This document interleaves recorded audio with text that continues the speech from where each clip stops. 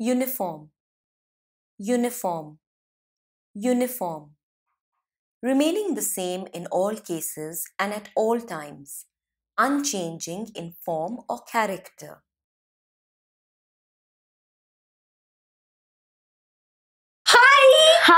Another medal? Yes, I won at the creative writing competition again this year. Wow, congratulations. You've been winning continuously for the last three years. Yes, Your performance has been uniform.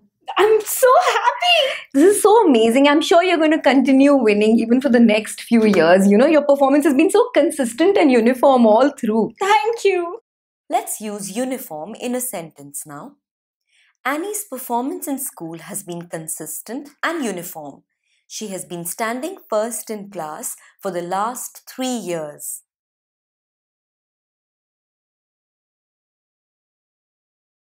Uniform, uniform, uniform. Denoting a garment forming part of a person's uniform.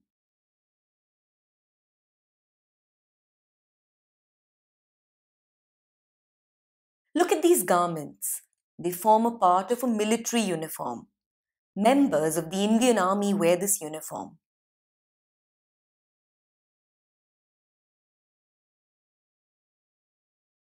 Let's use uniform in a sentence now.